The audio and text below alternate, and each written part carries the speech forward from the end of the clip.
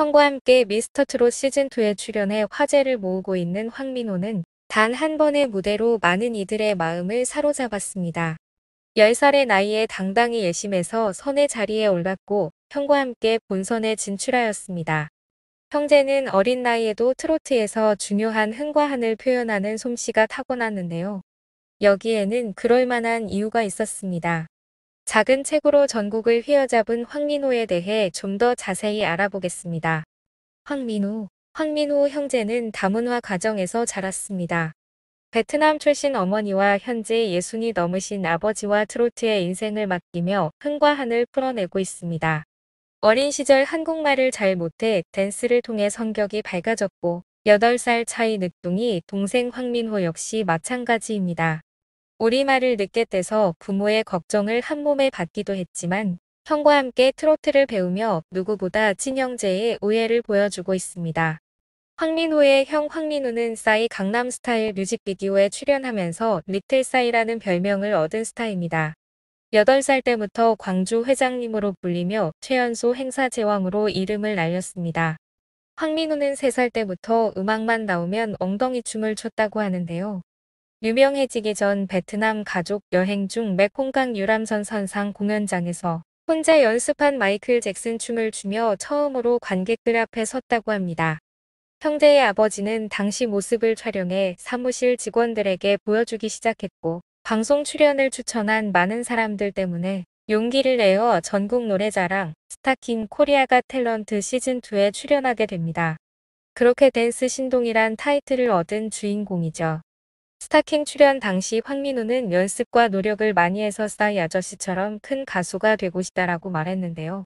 이후 실제로 싸이의 강남스타일 뮤직비디오에 출연하면서 짧은 출연 분량에도 상당한 인지도와 인기를 끌게 되면서 해외 활동까지 진출하게 됩니다. 당시 황민우의 나이 8세였습니다. 싸이의 뮤직비디오에 출연하게 된 계기는 YG 엔터테인먼트 직원이 베트남 무대의 촬영 영상과 스타킹 코리아 갓 탤런트 영상을 보고 싸이한테 보여줬으며 싸이가 이거다 하면서 뮤직비디오를 찍자고 해 뮤직비디오 촬영 이틀 전에 섭외되어 촬영하게 되었다고 합니다. 하지만 다문화 가정 아이로서 황민우는 유치원에서 놀림을 많이 당했다고 하는데요. 황민우는 사람들이 우리 엄마 베트남 사람이냐는 질문 좀 안 했으면 좋겠어요. 우리 엄마 이제 한국 사람이에요. 한국 국적 땄어요 라고 말했습니다. 이어 황민우의 인기가 높아질수록 막성 댓글도 심각했다고 하는데요. 관계자는 입에 담지 못할 정도로 욕설이 심하다. 엄마가 베트남 사람이라는 이유만으로 민우한테 피해가 가는 것 같다라며 안타까운 마음을 드러냈습니다. 초등학교 저학년 때에는 이유 없는 괴롭힘을 당하기도 했습니다. 다른 친구들과는 잘 지냈지만 황민우를 질투한 9학년 몇몇 학생들이 황민우를 때리거나 가방을 도로에 던지는 등 괴롭힘으로 힘들었다고 합니다.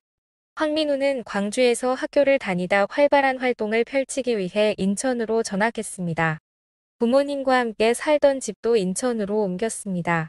결국 심각한 악플 때문에 법적 대응까지 하게 됩니다. 황민우의 악플에 대한 법적 대응에 나선 것은 단순히 그를 공격하는 악플 때문이 아니었습니다. 다문화 가정에서 태어난 그를 인종차별적으로 모욕하고 특히 베트남인인 그의 어머니에 대한 비난까지 폭주해 이에 대해 소속사가 강력 대응에 나서게 된 것인데요. 당시 소속사 대표이사는 평소에는 댓글을 잘 안 보게 하는데 예전에 한 번 우연하게 댓글을 본 적이 있어요. 거기서 부모님 비하하는 발언이 보이니까 황민우 군이 좀 많이 울면서 힘들어했던 적이 있어요 라고 전했습니다. 또한 아버지는 민우가 댓글을 보고 많이 울더라고요. 너무 빨리 연예인을 시켰나 시키지 말았어야 하나 싶었어요 라고 밝혔습니다. 마음의 상처는 쉽게 치유되지 않았는데요. 어머니와 함께 방송에 나온 황민우는 자신 때문에 상처받았을 어머니를 걱정했습니다. 황민우의 어머니는 제가 베트남 사람이라 민우가 한글을 늦게 배웠어요. 민우 공부도 못 알려주고 동화책도 한 번 못 읽어줘서 미안해요 라고 털어놨습니다. 이를 들은 황민우는 오히려 제가 엄마한테 미안해요. 어려서 활동할 때 악플이 많이 달렸어요. 저한테 악플 다시는 건 괜찮은데 엄마한테 악플을 달더라고요 라고 토로했습니다.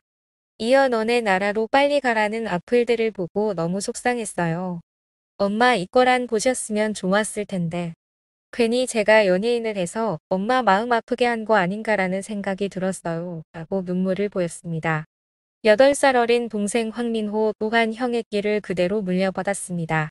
3살 때부터 형이 춤추는 걸 보고 따라췄다는 황민호는 이젠 제가 형보다 더 잘 춰요라며 귀여운 춤 실력을 보여주었습니다. 그런데 황민호는 춤뿐만 아니라 노래에도 타고났는데요. 노래와 춤으로 가요계를 제패한 박진영과 비앞에서도 떨지 않고 실력을 뽐냈습니다. 황민호는 형아는 3시간만 연습해도 힘들다고 하는데 저는 10시간 동안 노래와 춤 연습을 해도 지치지가 않아요라고 전해 웃음을 자아냈습니다. 이어 노래하고 춤출 때는 제일 행복해요. 박진영 선생님처럼 춤추는 가수가 되고 싶고 비형처럼 연기도 하고 드라마에도 출연하고 싶어요 라는 마음을 전했습니다. 황민호의 무대를 지켜본 박진영은 태생적으로 발성이 열려 있어요. 그런 케이스예요. 아예 발성을 따로 가르칠 필요가 없을 정도예요. 원래 소리를 그렇게 내요. 저런 친구들이 보통 커도 노래를 계속 잘해요 라고 말했습니다. 토끼나 노래는 타고났어요. 문제는 잘 성장하는 거예요. 몸과 마음이 잘 컸으면 좋겠어요 라는 바람을 나타냈습니다. 비는 저보다 잘해요. 남자 솔로 계보를 물려주면 될 것 같아요 라고 평가해 눈길을 끌었습니다. 그렇게 형제는 미스터트롯 시즌2에도 함께 출연하여 돈독한 우애를 보여주었는데요. 최백호의 영일만 친구를 택한 황민호는 미스터트롯 시즌2를 함께 건너고 싶은 마음을 담아 선곡했다고 했습니다. 대기실에서 형의 노래를 듣고 있는 동생 황민호는 작은 손을 꼭 잡고 제발이라며 내내 글썽이는 모습으로 기도로 형을 응원했습니다. 하트 14개를 받아 당장 본선 진출은 아니고 추가 합격을 기다려야 하는 상황이 펼쳐졌습니다. 하지만 좌절하지 않았습니다.